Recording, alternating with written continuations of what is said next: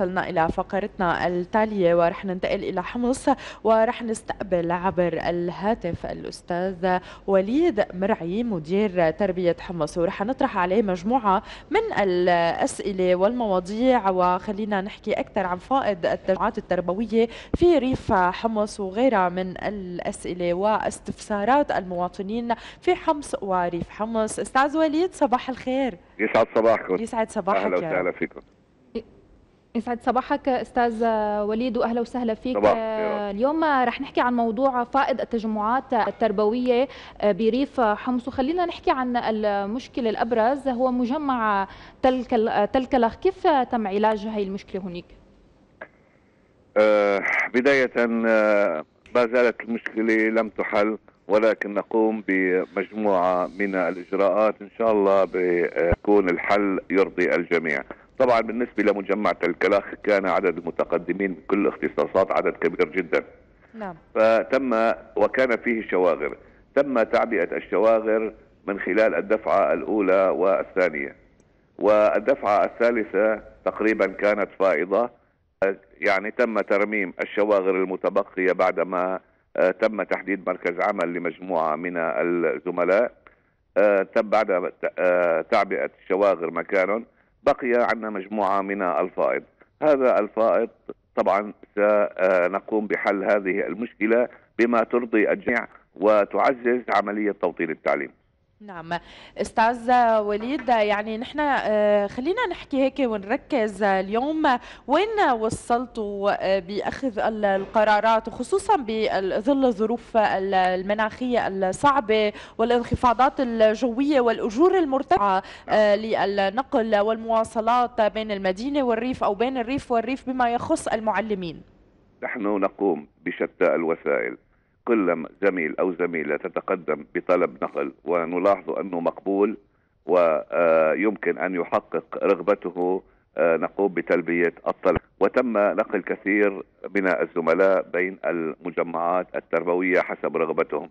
آه، مثل آه، كما قلنا من أجل عملية توطين التعليم.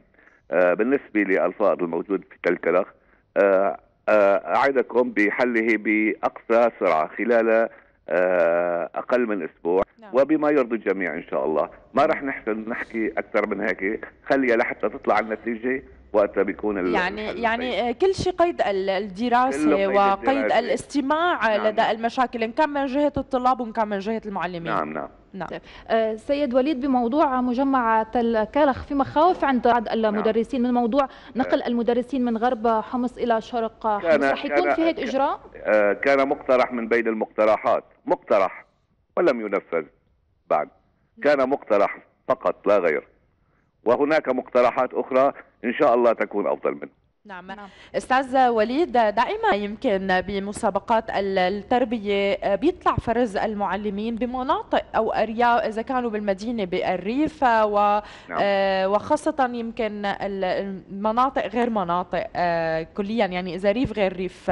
خلينا نحكي اليوم عن هي الاستثناءات. خلينا نحكي اليوم عن العقود. هل في مباشرات جديدة عم تقوم؟ هل في مسابقات جديدة عم تعطي هي الفرصة إلى المعلمين بحسب طبعا المنطقة وبحسب مراعاة الظروف يلي آه، عمليا عم تمرق فيها كل كل سوريا عم نمرق فيها. أختي العزيزة عمليا تم تعيين المتسابقين كل حسب رتبه فكانت عملية توطين التعليم من خلال آه، تعيين في المجمعات التي طلبوها. فالفائض من مجمع تلكلخ هم الذين طلبوا. ولكن صار عندنا فائض كثير كبير لأن عدد المتقدمين آه، كبير جدا. تم استيعاب الدفعة الأولى الثانية آه، في المجمع كما أرادوا. نحن نحن هلا نحن وقت بيقولوا بيسجلوا بتل كلخ معناته هن ساكنين بتل كلخ. وبالتالي نحن لنا الحق أن نعينهم في أي مدرسة بتل كلخ. مم. من أجل آه يعني بحيث ما يكون عندنا ولا شعبة صفية شاغرة. وتم ذلك.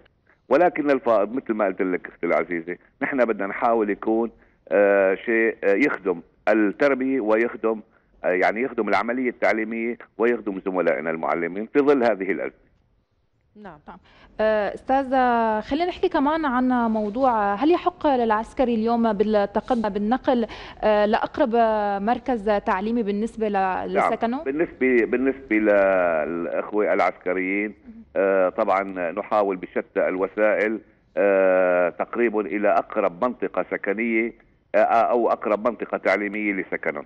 ونستقبل كل الطلبات وبشكل عام آه، استطعنا أن نؤمن كل آه، طلب تقدم من الإخوة العسكريين أن نحقق له رغبته نعم. وما زلنا هلأ لحد الآن آه، من آه، إذا حدا من الزملاء بشوف أو يمكن أن نساعده مستعدين للمساعدة.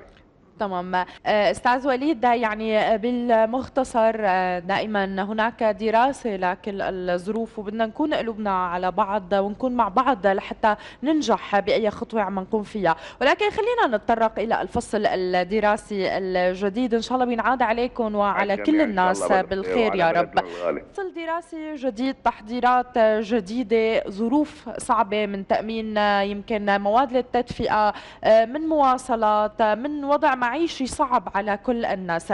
اليوم التربية بحمص شو هي تحضيراتها؟ آه، شو هي الاستثناءات؟ كيف عم نراعي الظروف؟ كيف عم نراعي الطلاب يلي هن ما قادرين يتنقلوا من مكان إلى مكان؟ كيف عم نعود على آه، المدرسين الحصص يلي عم يقصروا فيها؟ آه، عمليا بالنسبة للطلاب كل طالب مسجل في آه، المدرسة أقرب مدرسة إلى بيته. يعني آه، معظم الطلاب آه، لا لا لا لا آه، يستخدمون ال- النقل. لأن معظمهم في مناطقهم السكنية. نعم. مدارسنا الحمد لله متوفرة في كل المناطق على كامل جغرافية المحافظة. وبالتالي بالنسبة للطلاب محلولة إنه لا يستخدمون وسط النقل. بالنسبة للتدفئة تم تعبئة آه، ال- التدفئه ال- ال- المازوت بالنسبة لكافة المدارس. وما زال حسب توفر المادة. والآن نق- آه، نقوم بتوزيع الدفعة الثانية.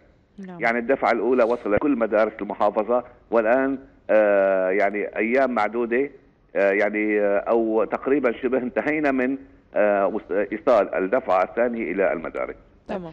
بالختام خلينا نعم- نعطي ملخص آه، سيد وليد آه، بالقرارات اللي رح تطلع أو إذا وصلتوا لمقترحات حلول رح تكون هي خير آه، للمدرسين بحمص بما يخص التجمعات التربوية تحديد مراكز العمل. أي شيء بتحب تذكره بالختام؟ إن شاء الله إن شاء الله كله بده يكون رضيان خلال نهاية الأسبوع بتكون الأمور كلها محلولة إن شاء الله.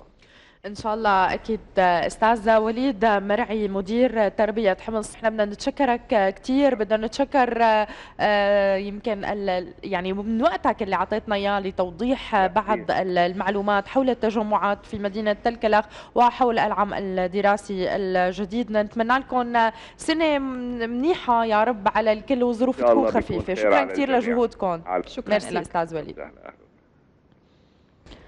هلا آه، مشاهدينا خلونا ننتقل من حمص لحما